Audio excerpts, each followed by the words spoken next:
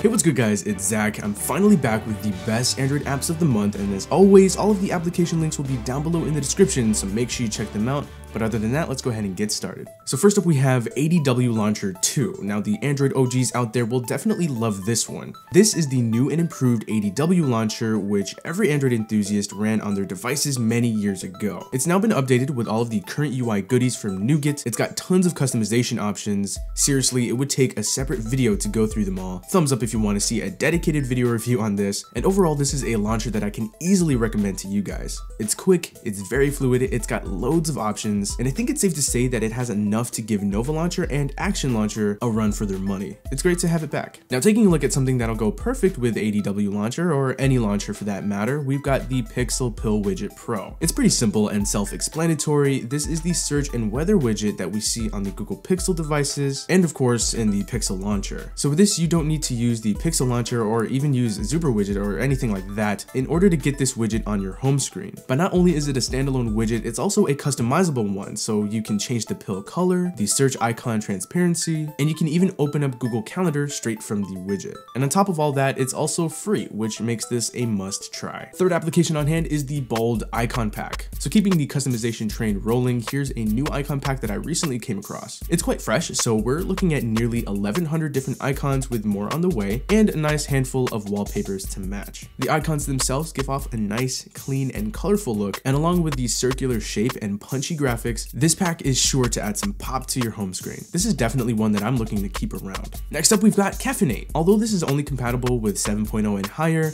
this is a really handy tool for those of you that often find yourself needing to keep your device awake for just a few minutes more. So a little toggle will be added to your quick settings menu and every time you hit it, 5 minutes will be added to the time your device will stay awake for and that's pretty much it. Oh, and don't worry about accidentally adding too many minutes. Just locking the screen will do away with that. Go ahead and check it out. Halfway down the list, we've got Knudge.me. Now this is an excellent educational tool that you can use to help boost your vocabulary and your mathematical skills. With this app, you can choose from a number of different courses. You've got things like math tricks, English idioms, an intermediate vocab builder, and more. You'll begin to receive little notifications presenting you with content based on your selected courses, which makes learning on the go that much easier. Learning something new every day just got much more enjoyable and convenient. It's a pretty unique app. I think it's neat, and I think you guys should give this one a shot. Alright, so we're about midway through the list, and I just wanted to take a quick break and give a shout out to those of you that noticed this episode's background music. These tracks came from this episode's sponsor, AudioBlocks. AudioBlocks has one of the biggest stock audio collections on the internet boasting well over 100,000 audio clips, song loops, music, and sound effects. When you sign up for a membership, you're guaranteed access to all of this awesome content alongside a full royalty-free agreement, which allows users to utilize this content in all commercial projects like YouTube videos, podcasts, pretty much anything. And this agreement will live on even if you decide to cancel your membership. So I did team up with AudioBlocks to give you guys a free 7-day AudioBlocks trial so that you can check out their enormous sound library. Head over to audioblocks.com slash YouTube or hit the very very first link down below in the description to start downloading and get 7 days of AudioBlocks for free. So moving on with the list, we've got Dactyl. It's a super simple yet extremely useful tool for those of you that have fingerprint readers on your phones, and mainly ones with readers on the back of the phone. This tool allows you to use your fingerprint scanner as a camera shutter button. You heavy selfie takers out there probably just let out a huge sigh of relief, huh? Yeah, this makes things a lot easier. Along with most camera applications, this will also support Prisma, WhatsApp, Google Allo, and other applications like Instagram, VSCOcam, and Snapchat as long as you're running Nougat. Definitely try this one out.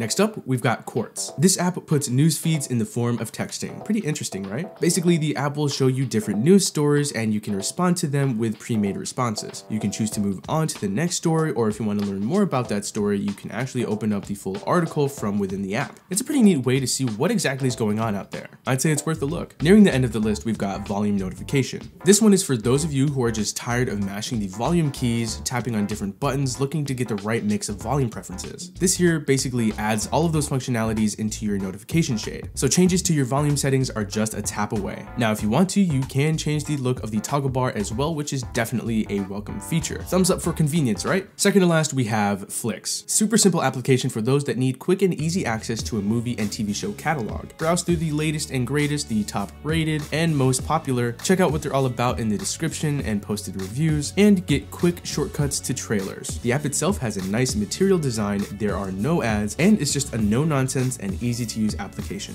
Try it out. Last but not least, we have Screenshot Utility, yet another handy tool over here, and this one is for those that would like to make changes to their screenshots. Whether it's highlighting something with a circle, enclosing something in a box, perhaps you'd like to add a random line, some text, maybe you'd want to blur something out, or maybe you just want to flat out doodle on your screenshot. Well, if any of that happens to be the case, this app's got you covered. This app is without question an application that I could see myself adding to my ever-growing folder of utility applications. Give it a shot. Well, that wraps it up for this month's best Android apps. I hope you guys enjoyed. If you did, feel free to smash that like button. Don't forget to check out AudioBlocks as well as all of the application links down below in the description. But anyway, that does it for me. I'll talk to you all in the next video, and thanks for watching.